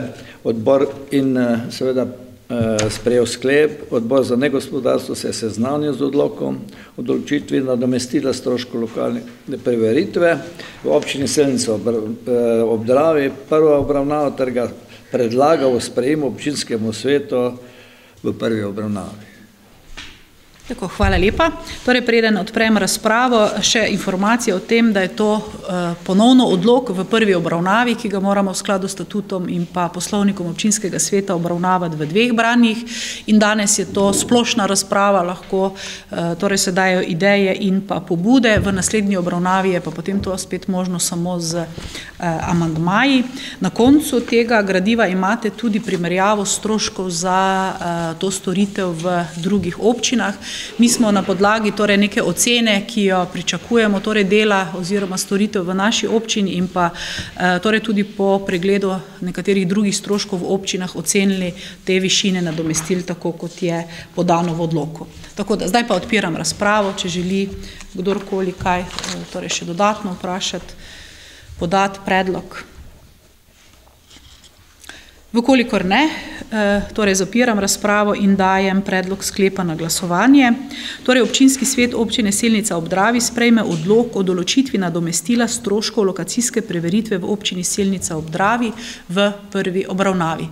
Prosim, da z dvigom rok potrdite. Tako, najlepša hvala, 15 prisotnih, 15 za. In prehajamo na osmo točko, to je sprememba sklepa o sklenitvi sporazuma o pobratenju občine Silnica ob Dravi in občine Kostrena v Republiki Hrvaški. Eh, kot veste, je, torej občina Kostrena je, eh, se nahaja v bližini občine Reka v Primorsko-Goranski župani, torej med Reko in Bakrom. In torej kot manjša občina blizu Reke, ki bo Evropska prestolnica kulture 2020, je povabila oziroma navezala stik z občino Selnica ob Dravi, da bi z njimi sodelovali v projektom pod nadzivom torej 27 sosedov, kjer si želijo spodbuditi oziroma vzpostaviti sodelovanje sosedi iz torej tudi sosednjih držav. In že občinski svet v prejšnji sestavi je o takšnem torej sodelovanju razpravljal in seveda se strinjal, da se torej to sodelovanje uradno z pismom oziroma s podpisom porazuma sprovede. In eh, vmes so se zgodile volitve in zato je eh, torej ta sklep zdaj potreben zaradi spremembe eh, torej župana oziroma županje. Sama sem po pregledu torej tega gradiva torej ugotovila, da, so, da je mednarodno sodelovanje, torej so sodelovanje z občinami v naši bližnjih sosedih v Sloveniji in pa seveda tudi izven menja za našo občino izredno pomembno, da sama tudi to zelo podpiram In uh, torej zato predlagam in vas uh, torej sprosim, da sprejmete torej to spremembo sklepa, da lahko ta uh, sporazum o pobratenju občine Silnica ob Dravi in občine Kostrena tudi podpišem.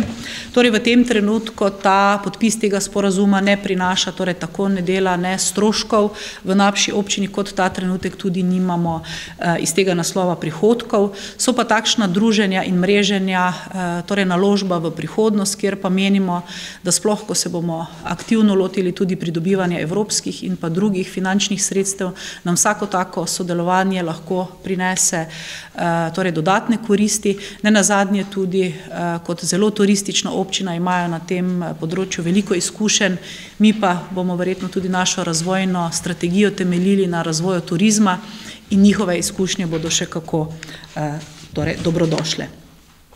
Toliko za uvod. Zdaj bi pa prosila še eh, torej statutarno pravno eh, komisijo, da poda stališče.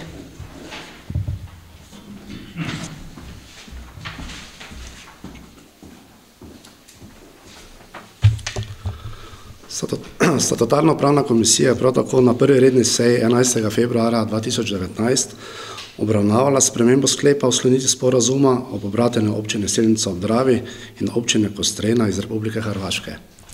Po obravnavi je komisija soglasno sprejela naslednji sklep. Statutarna pravna komisija predlaga občinskemu svetu občine Selnica ob Dravi, da spremembo sklepa o sklenitvi sporazuma o pobratenju občine Selnica ob Dravi in občine Kostrena iz Republike Hrvaške sprejme. Hvala lepa. Prosim za stališče odbora za gospodarstvo.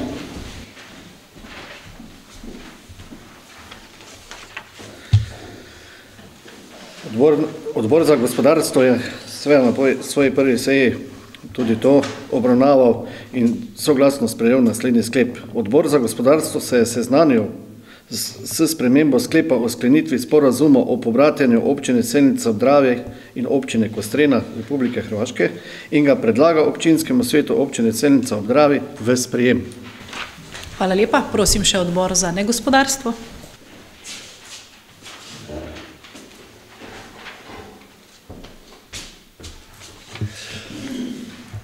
Na podlagi pojasnila gospe Županje, takega, ki smo ga danes slišali tukaj, se je odbor za negospodarstvo predlaga sklep, da odbor za negospodarstvo se seznani s, s spremembo sklepa o skleniti sporazumo o pobratenju občina Selnica obdravje za občino Kostrena in ga sprejel in da občinskemu svetu v sprejem glavnem lepo sodelovanje in seveda ga zelo podpiramo. Najlepša hvala. Odpiram razpravo, če želi kdorkoli še kaj dodati. Vkolikor ne, torej hvala eh, in prehajam na eh, predlog sklepa za glasovanje. Občinski svet občine Silnica ob Dravi sprejme spremembo sklepa o sklenitvi sporozuma o pobratenju občine Silnica ob Dravi in občine Kostrena v Republiki Hrvaški. Prosim, kdo je za takšen sklep? Eh, tako, hvala lepa, 15 prisotnih, 15 za in se vam torej zahvaljujem in verjamem, da bo to iz tega eh, sodelovanja, torej bomo veseli, da smo sprejeli tak sklep. Prehajamo pa eh, torej še k zadnji vsebinski točki, to je poročilo o stanju koče breza pri svetem duhu na ostrem vrhu. Uvodoma torej bi podala nekaj besed, kot veste je občina Selnica ob Dravi ministrstva za obrambo pridobila eh, torej koč obreza oziroma eh, tako imenovano stražarnico bivšo na duhu oziroma pri duhu na ostrem vrhu. In v gradivo imate tudi sklep, ki ga je leta 2009 sprejel takraten občinski svet ki je izkazal javni interes na tej koči pri duhu na ostrem vrhu in ministrstvo nam je s pogodbo o prenosu torej dalo oziroma predalo ta dom seveda z namenom. Torej v njem je bil opredeljen, za katere namene oziroma kakšne namene ga lahko uporabljamo in torej danes odpiramo to razpravo v tem duhu, da razmislimo, kaj naj si s to eh, torej kočo breza eh, zgodi oziroma kaj si z njo želimo. V preteklih letih se namreč v njo ni veliko vlagalo, veliko premalo in je torej stanje danes eh, dokaj slabo. Vkolikor želimo, da ta stavba ne propade, bi bilo prav, da skupaj z torej vami svetniki in pa seveda v prihodnjem tednu bomo o tem razpravljali tudi z vaškim odborom, da razmislimo, kaj si morda v tej karavli želimo in ta razprava je danes eh, namenjena temu, da morda povprašamo ali pa povemo svoje želje in pa eh, ideje. V, torej vsako spremembo te namenske rabe tega objekta moramo namreč sporočiti oziroma se za njo dogovoriti pri ministrstvu. Eh, Na ministrstvo je pa dobro, torej, da pridemo z usklajenim predlogom, da jim povemo, kaj mi želimo, ker tako bomo potem tudi lažje dosegli to, da uh, torej, dobimo to novo soglasje in se v njem morda začnejo dogajati uh, torej druge uh, vsebine, kot je bilo takrat v letu 2009 uh, predvideno. Druga torej možnost, vkolikor nekih vsebine najdemo, moram realno povedati, da naš občinski proračun Eh, ta trenutek torej ne vidimo sredstev, ki bi jih lahko namenili za investicije oziroma kakorkoli za vzpostavitev neke dejavnosti, sploh pa, če bi bila ta dejavnost neprofitna, kajti to pomeni, da nam poleg te investicije tudi v prihodnih letih bo ta eh, torej stavba prinašala določene stroške, In eh, torej druga možnost, če tega ne najdemo, je, da verjetno moramo objekt vrniti ministrstvu. To je najslabša, po mojem mnenju, najslabša opcija oziroma možnost izmed vseh, ki jih bomo našli, kajti ministrstvo je že pred leti pozabilo na naš duh na ostrem vrhu in pa na objekt, tako da ne verjamem, da bo zdaj kakorkoli drugače. Seveda torej s pogodbo ga vrnemo in potem bo tisti sameval oziroma bo še v slabšem stanju, kajti zdaj je torej res naj, najnujnejši najnujnejše, da ni popolnoma teklo in pa uničilo ostrešja, so nekatere aktivnosti bile eh, torej peljane. Tako da to je nekako osnova oziroma podlaga za današnjo razpravo. Eh, posebnega sklepa o tem, kaj bomo ta trenutek naredili, eh, torej ne bo, danes se bolj seznanimo s stanjem.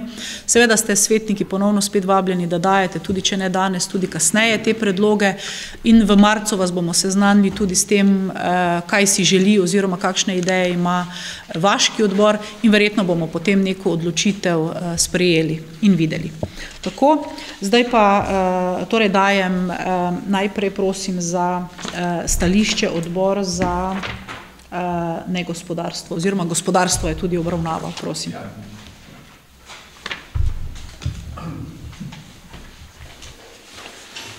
Odbor je obravnaval omenjeno vsebino in je dejansko tudi na svojem v svoji razpravi vsi prisotni člani dejansko smo zgroženi nad trenutnim stanjem, kak, v kakšnem je ta objekt in uh, sprejeli smo soglasno ta sklep, da se odbor za gospodarstvo se je seznanil s poročilom o stanju bivše stražarnice na Svetem duhu na Ostrem vrhu in ga predlaga občinskemu svetu občine Selnica ob Dravi v sprijem.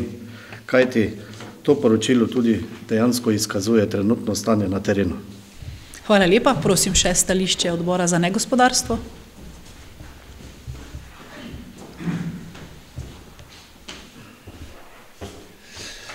Tudi odbor za negospodarstvo se je seznanil z to problematiko, z razsulom tega doma, na kar nam je iskreno žal. Izgleda, da nismo našli pravih eh, Eh, pravih vsebin, ki bi ta dom lahko eh, ohranjale, bolj eh, ga malo zapustili in seveda se strinjamo, odbor za negospodarstvo se je seznanil s tem poročilom o stanju koče na, na duhu na ostrem vrhu, ter ga predlaga v sprejemu občinskemu svetu občine Selnica ob Dravi. Pozarjamo pa, da bomo morali, da bo trši oreh Eh, kako, če ga dobimo ponovno v, eh, v last, kako, kaj vzpostaviti, da dom ne bo naprej propadal, ker to je pa kar um, zelo velik problem, kako ga osmisliti. Tako, hvala lepa.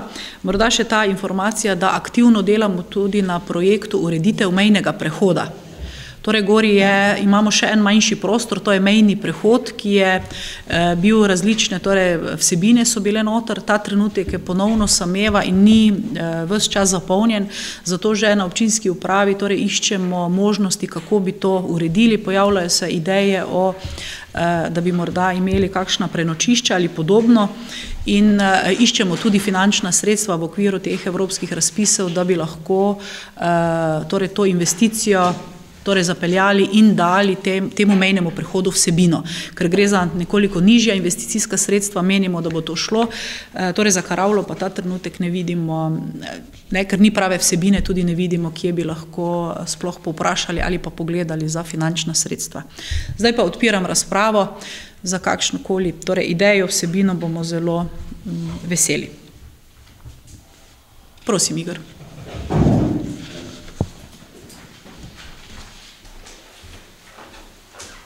Verjamem, da če bo več razpravljalcev od nas tukaj, ampak kljub, kljub temu bi samo apeliral na županjo uh, in obenem tudi na vaški odbor na svetem duhu, dajte glave skupaj po domače in ustvarite uh, eno vsebino ali pa neko zgodbo v tem objektu, da bo s tem tudi samo objekt dobil neko vsebino, s tem pa tudi kakšna sredstva, da se bo lahko hitreje in tudi bom rekel, učinkovite je to, to tudi obnovilo, ker vemo, da se daje tudi kakšna sredstva, ki je pridobiti na podlagi vsebine oziroma idej.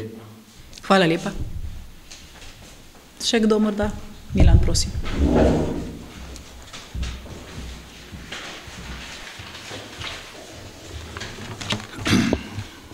Kronologijo je predstavil eh, Miloš eh, v celoti, ampak eh, Morali bi pa pogledati vzroke, zakaj je nastala škoda na tej karavli. E, zakaj smo leta 2008 se angažirali za, za to, da karavlo dobimo, ki je bila v solidnem stanju, je bila opremljena še takrat in karavle, ki so bile tudi ob mejah, so bile namenjene za turizem. In tako je tudi leta 2008 bil dogovor in tudi podpisan, da Karola pod, dob, pod ugodnimi pogoji preide pod upravljene selnice v Drave.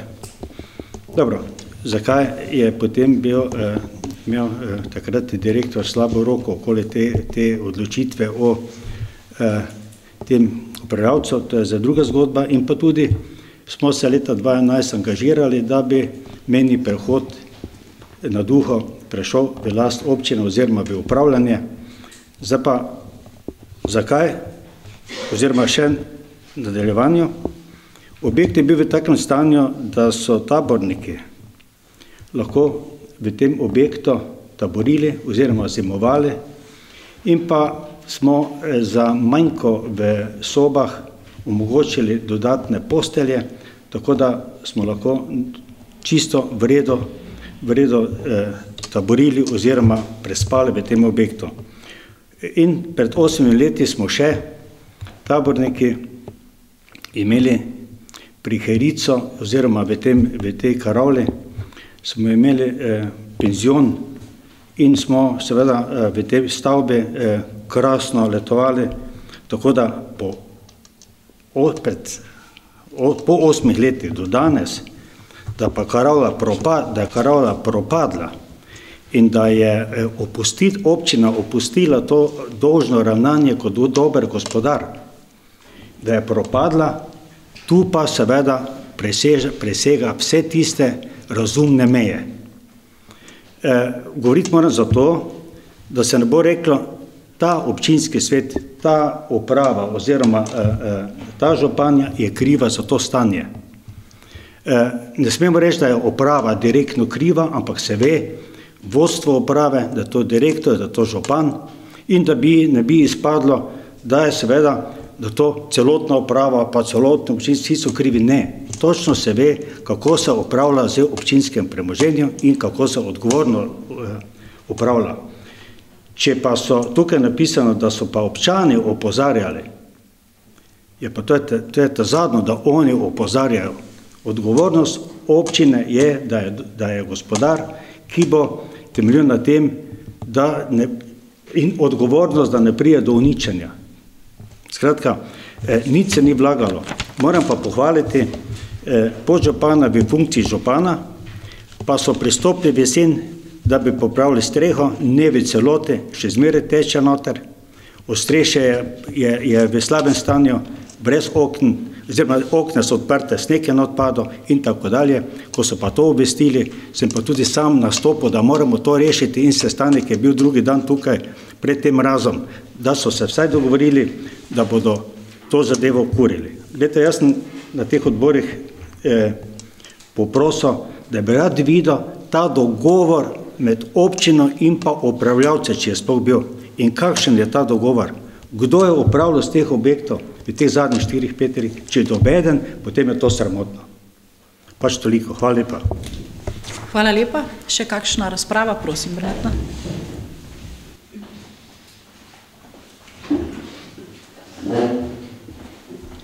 Hvala, županja, za besedo. Tudi meni je zelo žal za to ostanje v Karavli.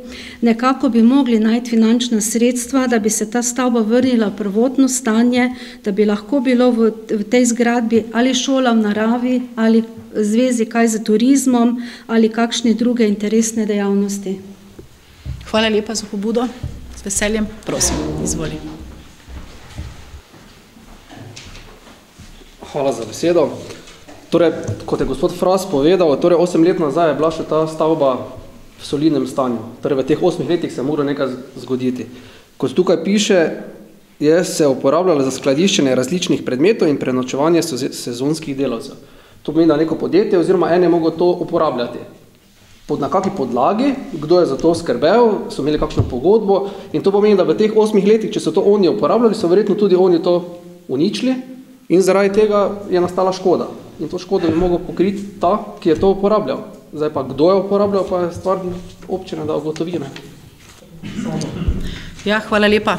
Eh, žal imamo res premalo časa, da bi se s celotno zgodovino ukvarjali, pa z vsemi dokumenti, ker jih je zelo malo in so bili nekateri dogovori tudi ustni. Tako da seveda bomo to kot eh, dober gospodar zdaj tudi pogledali, ampak jaz verjamem, da bomo zdaj, ko bomo našli novo neko vsebino, da bomo boljši da bomo naredili torej tako, da bomo imeli od te koče, torej mi pa, eh, torej predvsem ljudje, ki živijo na duhu, korist. Torej se pa zelo strinjam, da eh, torej neki papirji, kot je bilo že prej povedano, bi na občini eh, torej morali biti, se bomo potrudili, ampak jaz mislim, da bomo več energije vlagali v to, da bomo naredili do, do, dober projekt za prihodnost in vam ga predstavili, torej kako naprej. Prosim. Še kakšna razprava? Vkolikor ne, eh, zaključujemo to točko in seveda dajem predlog sklepa na glasovanje. Torej, občinski svet občine Selnica ob Dravi se seznani s poročilom o stanju bivše stražarnice na Svetem duhu na Ostrem vrhu. Kdo je za takšen sklep? Tako, hvala lepa. Eh, zdaj pa prihajamo na deseto točko, to so pobude svetnikov. Torej, dobrodošli, da nam date kakšno pobudo. Bernarda, izvoli.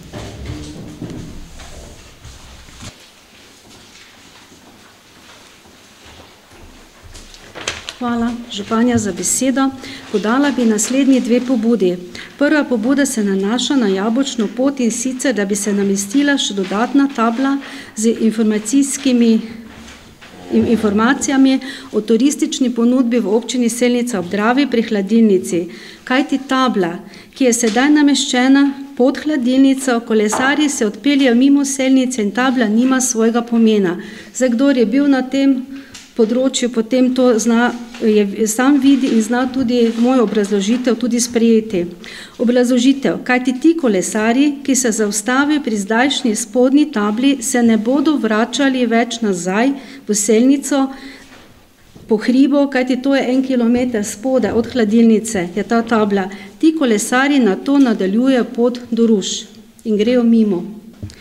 Eh, druga pobuda se nanaša na izgradnjo pločnika od črpalke Petrol do Vinka na glavni cesti proti Fali na regionalni cesti G1 v Selnici ob Dravi, kjer se bo gradila nova, nova trgovina Jager. Obrazložitev. Bilo bi primerno, da se povabi investitorja trgovine Jager v delno sofinanciranje tega pločnika, saj bi bilo tako poskrbljeno za varnost bodočih kupcev. Hvala lepa za pobude. Morda kratek odgovor. Torej, o tem, kako bomo označevali to našo jabolčno pot, eh, torej smo nekaj že začeli razmišljati, ker pripravljamo tudi projekt vseh pohodnih in kolesarskih poti v naši občini in eh, bodo torej ta, te označitve, te poti potem vključeni v neko enovito, celovito označevanje, da si bomo dali nekak svoj znak, eh, svojo prepoznavnost in ga potem v naslednjih letih torej povsod uporabljali. Tak tako da takrat bomo to tudi vzeli. Tisto uh, informacijsko tablo, ki je ta trenutek, je pa postavila direkcija, uh, ki je investitor v uh, Dravsko kolesarsko pot in ima po celi uh, kolesarski poti enake in si je ona torej tudi določila nekako svoj, uh, tako svoj prostor. Eh, tudi o pločniku od eh, črpalke do Vinka, torej, kjer zdaj eh, bo verjetno investitor pričenjal z gradnjo. Torej smo že v nekaterih začetku pogovorov, pa upam, da bomo na tem področju našli kakšno skupno točko. Hvala lepa. Še kakšna pobuda? Vkolikor ne zaključujemo pobude svetnikov in prehajamo na zadnjo točko, še kakšno vprašanje svetnikov? Prosim, Marko, izvoli.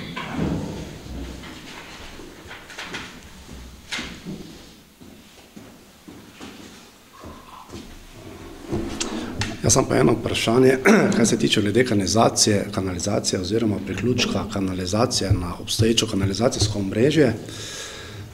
Predvsem me zanima, kot veste, jaz sem doma tukaj v, skoraj v centru Silnice v Dravi, od magistralne ceste nekje oddaljen 50 metrov, pa še do danes nisem priključen na kanalizacijsko omrežje.